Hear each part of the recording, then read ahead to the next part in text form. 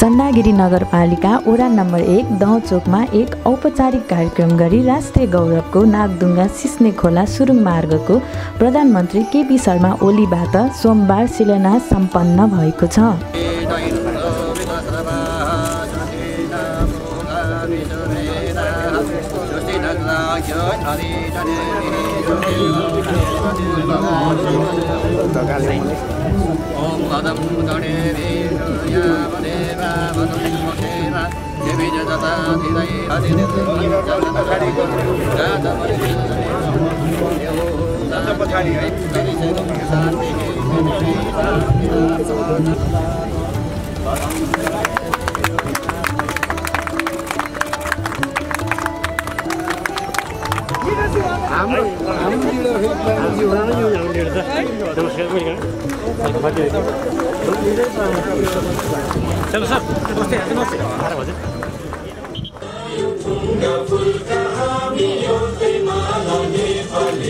Sir नमस्ते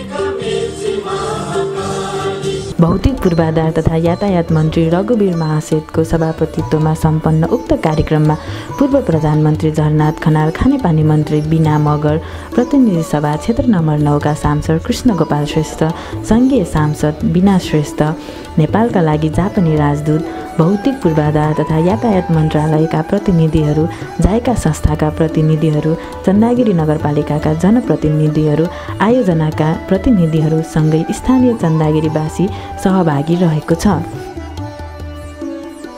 Japan अन्तर्राष्ट्रिय सहयोग संस्था जाइकाको शून्य दशमलव शून्य एक प्रतिशतको सहुलियत ऋणमा रकम प्राप्त भएको छ र सो सुरुङ मार्ग आगामी बयालिस महिनाभित्र निर्माण सम्पन्न हुनेछ।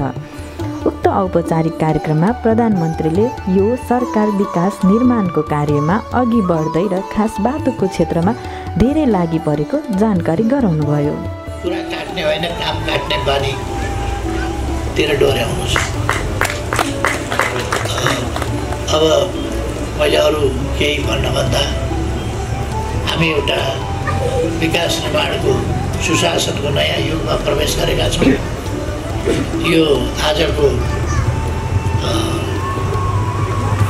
शिलान्यास या उद्घाटन यो शुभारम्भ कार्यक्रमले हामीलाई मैले अघि नै भने यस प्रकारका बाटाका टनेलहरू यो पहिलो टनेल हो।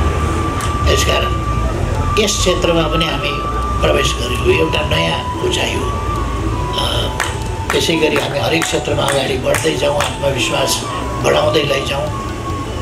सबैमा धेरै धेरै शुभकामना गर्न चाहन्छु र यस कार्यलाई सफल बनाउनका निम्ति मेहनत गर्ने मन्त्री सचिव र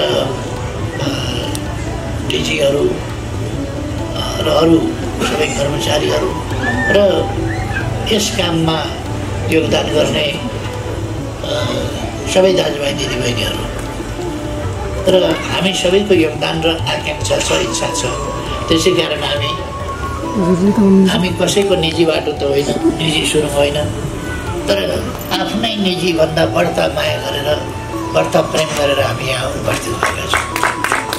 म सबैलाई भन्छु हामी दसैँ तिहारका बिचमा छौँ यति बेला म दसैँ त गइसक्यो तिहारको शुभकामना भन्न चाहन्छु नयाँ वर्ष नेपाल सम्बन्धको एघार सय चालिसको शुभकामना भन्न चाहन्छु र अरू छठ लगायतका पर्वहरूको शुभकामना भन्न चाहन्छु सबैको स्वास्थ्य राम्रो रहोस् सबैमा सफलता मिलोस् खुसी मिलोस्। र हाम्रो समृद्ध नेपाल सुखी नेपालीको राष्ट्रिय आकाङ्क्षा यो राष्ट्रिय आकाङ्क्षा अब राष्ट्रिय मात्र होइन एउटा विश्वव्यापी हुँदै गएको छ। विश्वका जोसुकैले पनि कुरा गर्दा नेपालको सन्दर्भमा कुरा गर्दा नेपालको राष्ट्रिय आकाङ्क्षा प्रस्तरस नेपाल ह्याप्पी नेपाली।